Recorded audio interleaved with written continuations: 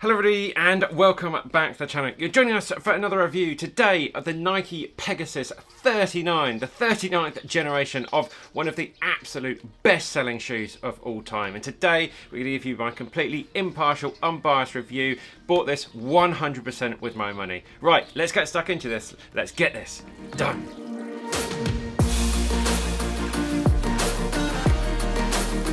Guys, great you're joining us here for another review. I'm joined by my helpful assistant Bailey on the sofa here as well. Now we're going to split this up into various sections. That you can move around in the video just by using your mouse below. We're going to start with the facts and figures. We're going to have a quick chat about what has changed between this and the outgoing 38 version.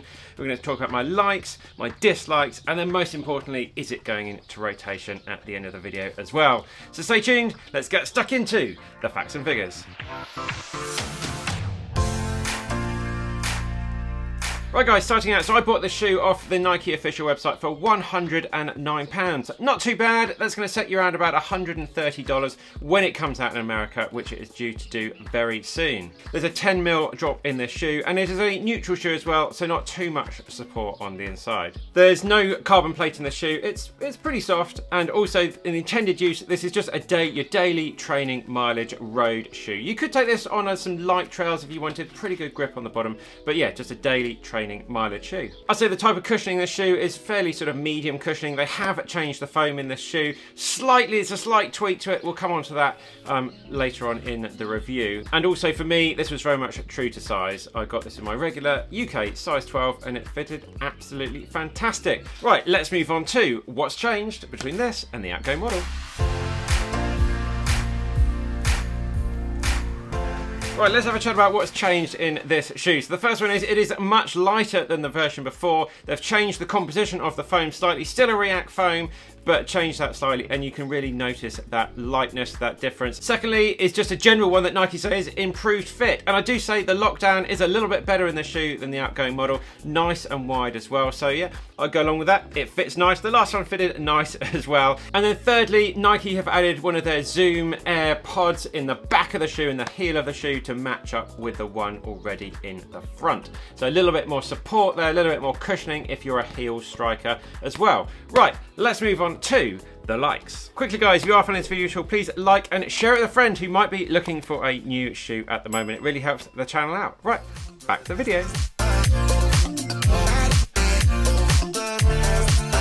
So the first one is comfort. This shoe is a super comfortable shoe, both running and walking and in the gym. It is just a cup of shoe. Wherever I'm, whatever I'm doing, it is super comfortable. As I said earlier, width, really good. If you're a wider footed runner, you're gonna be fine in this shoe. It was true to size, as I said. The new foam is nice and light. With the upper mesh that they have here, it's nice and breathable. I've been using this in some hot conditions. No overheating in the shoe whatsoever. And then finally, all of the padding around the heel area. It's super soft, it's super squishy. No pain or anything on the Achilles. You just get a really nice lockdown fit no rubbing, no hot spots, no moving around or anything like that. It's just been a super comfortable shoe, whatever I've done with it. The second one I want to talk about is the responsive ride. Now the tweaks I've made to this foam here, you can really notice the difference between this model and the outgoing model. This feels a little bit softer, a little bit more squishy, a little bit more responsive. At the end of the day, it's still React foam. It's not the best on the market in my opinion, but for the value for money, just over 100 pounds here, it is pretty damn good. When you're running at slow pace, it's not great, sort of a recovery run pace, and at full speed, it's not great as well. But that middle section, it just feels nice and responsive, where a lot of us are gonna do the absolute majority of our training miles, and it just eats those up really well. The grip on the outsole is fantastic as well. And that leads me on to my third point is durability. I've done around about 50K in this shoe so far. It's showing absolutely no signs of wear whatsoever whatsoever and there's no indication that it will be any different from the outgoing models as well. The uh, sole of the shoe is exactly the same. These stand up to many hundreds of miles and this shoe feels so far like it'll be absolutely no different. So you're gonna get some really good value for money and keep the shoe in your rotation for a long time. Right guys, today's question of the day is, have you run in the Nike Pegasus lineup before? And if you have, what was your favorite version of it? We've now had 39. Yeah, let us know down in the comments your best version of the Nike Pegasus lineup.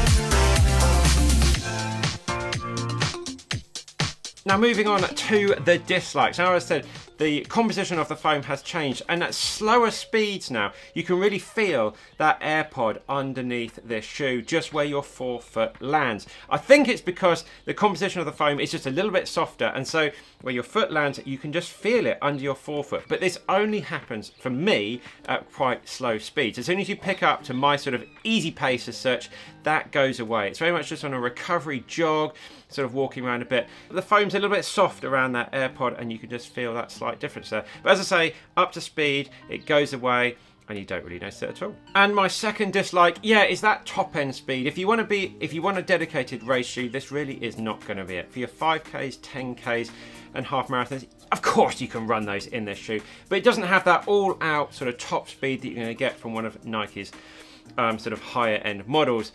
And I think if you're comparing this to something like the New Balance 1080, that just has a little bit more speed. Yes, it's more expensive, but it just has a wider range of paces that you can run in for an all-round shoe. For me, this shoe excels at just that middle ground, that sort of steady pace up to marathon pace. It will just eat up those long training miles and it does that very well. But yeah, all out top speed is just not really there.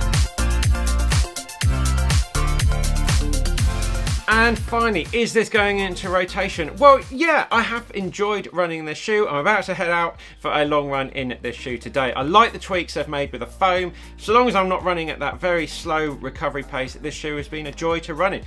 It just, as I say, keep saying, it just soaks up those miles and it's comfortable and you really can't complain about that. But when it all is said and done, I think we really would just love to see some ZoomX in the Pegasus lineup. It will just make it a little bit more responsive, a little bit more fun. The React foam is just now a little bit old and outdated. Hopefully that will come in the next few generations of the shoe and I'll be the first person there to test it and bring you those reviews. So if I could sum this shoe up in one sentence, I'd say it's exceptional value for money. At around a £100 price point, you can get many hundreds of happy miles in this shoe and it's going to be comfortable and it's going to not overheat, no hot spots, good width. It's just an all-round daily solid shoe. And finally, if you want some alternatives to have a look at, if you want to spend a little bit more, get a little bit more top-end speed, as I say, the New Balance Balance 1080. Something a bit cheaper than this that's going to offer you a little bit more value. The Reebok Floatride 4, that will be coming up next. So that's it guys, hope you enjoyed the video. As I said, I'm off for a long run out in the sunshine here very soon in this shoe. Hope you enjoyed it. Thank you for the support with the Patreon legends here